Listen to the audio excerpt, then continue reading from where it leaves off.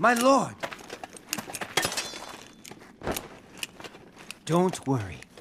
I will keep you safe, little one. I swear it. On my life.